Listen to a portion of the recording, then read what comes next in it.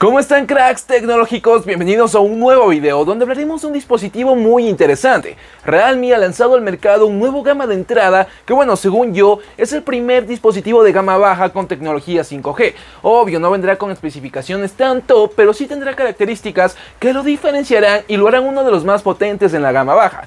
Quieres conocerlo un poco más porque te cuento que ya está circulando en el mercado y saber si llegará o no a Latinoamérica. Ya sabes, no olvides suscribirte a este canal y ahora sí, prepara tu canguil, ponte cómodo y empecemos con el video.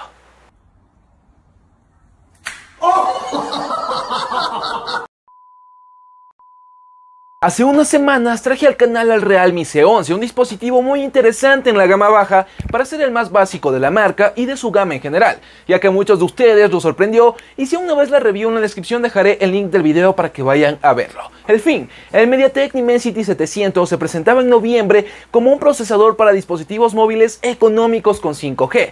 Es ahora cuando empezamos a ver resultados ya que llega al mercado el nuevo Realme B11 un nuevo modelo que se encuentra un grado por debajo del Realme B15 presentado en enero. Bueno, si 2020 fue el año en que la tecnología 5G llegó a toda la gama alta y baja, bueno, este 2021 apunta a ser el año en que llegará prácticamente a todos los dispositivos móviles. El rango de precios para la tecnología 5G ya no estará para limitarse económicamente. El Realme B11 parte desde los 154 euros al cambio para la versión con 4 GB de RAM. Bueno, en el apartado estético podremos observar un diseño estándar, nada del otro mundo, nada sorprendente que digamos wow wow. Wow wow wow wow wow wow. Bueno, este móvil está mejor construido que mi casa. Bueno, su cuerpo está construido de plástico, ya saben, como el cuerpo de las Kardashian. Oye, eso es un insulto para mí. En la parte posterior del Realme B11 posee un módulo para las cámaras con un diseño similar al módulo de cámaras del Realme C11. El Realme B11 posee una cámara dual con un sensor principal de 13 megapíxeles con apertura 2.2 y un sensor adicional de 2 megapíxeles que aparentemente es el sensor de profundidad. Se, bueno, ¿será así o acaso será un sensor LIDAR? ¡Esta perra está loca! Bueno, nada, mentira, eso sí es algo imposible, pero bueno, esperemos que el apartado fotográfico también sea uno de sus fuertes, ya que el Realme C11 sorprendió a todos con la calidad y resultados de sus cámaras. Aquí otro spoiler, el Realme V11 tendrá un gran desenvolvimiento en video, permitiéndonos grabar hasta en 4K hasta 60 FPS, algo muy inusual en los móviles de gama baja, bueno, por lo menos eso promete la marca, lo que nos dicen los números, tocará esperar para poder probarlo en vivo y en directo para poder darles una opinión. Eso sí, el diseño de la parte posterior me agrada demasiado, ya que parece ser un material mate texturizado y brillante a la vez, además será un dispositivo con dimensiones muy compactas, con un peso de 186 gramos. Por la parte frontal nos encontraremos con su pantalla de 6.5 pulgadas con tecnología IPS LCD, una resolución HD Plus de 720 x 1600 píxeles, ya saben, una pantalla con tecnología digna para un gama baja. Tampoco esperemos una Super AMOLED. Eso es como que esperar que algún día los mandatarios de nuestros países no roben el dinero del Estado.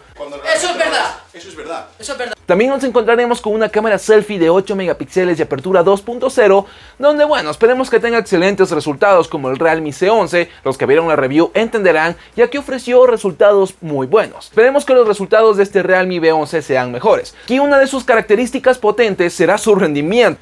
Contará con el procesador MediaTek Dimensity 705G construido en 7 nanómetros, en la GPU la Mali G57 con dos versiones, 4 GB de RAM y otra con 6 GB de RAM. Y mucho ojo aquí, ya que supuestamente y según fichas técnicas, rumores, vendrá con una única versión de 128 GB. Eso es muy impresionante. Un gama de entrada con 128 GB, eso creo que no se ha visto nunca, o por lo menos es muy inusual. Aunque yo pienso o digo, bueno, que tal vez sea un error en, cuanto a traducción en las fichas técnicas o páginas web o datos filtrados, como ya ha pasado en varios modelos anteriores. Por ejemplo, con el Galaxy A01 se rumoraba muchísimo que vendría con 128 GB, pero la final vino con 16 y 32 GB. En fin, si fuera cierto, sería un apartado demasiado fuerte para este dispositivo. Y no solo eso, también vendría con una versión de Android 11, un dispositivo actualizado que vendrá con las funciones y servicios de lo último del sistema operativo de Android. Otro de sus apartados a destacar es su batería de 5000 mAh y carga rápida de 18 watts. Y es algo muy común en la gama baja, pero bueno, a la vez digno de felicitar a la marca por no descuidar este apartado importante.